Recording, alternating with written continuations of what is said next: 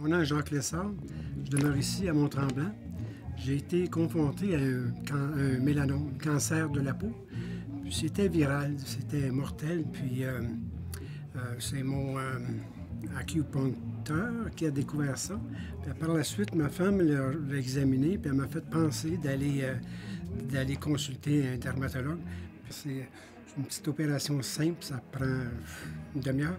Il l'enlève complètement, puis c'est jamais revenu. Puis a une chance sur un million que ça revienne.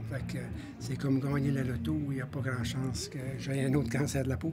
Il faut être prudent, par exemple, mettre euh, beaucoup de, lotion solaire pour se protéger. J'étais un gars optimiste de nature. Je voyais que c'était sûrement sur la peau. Alors, euh, on m'a dit que ça s'enlève. Ça s'est enlevé, puis il n'y a pas de problème avec ça.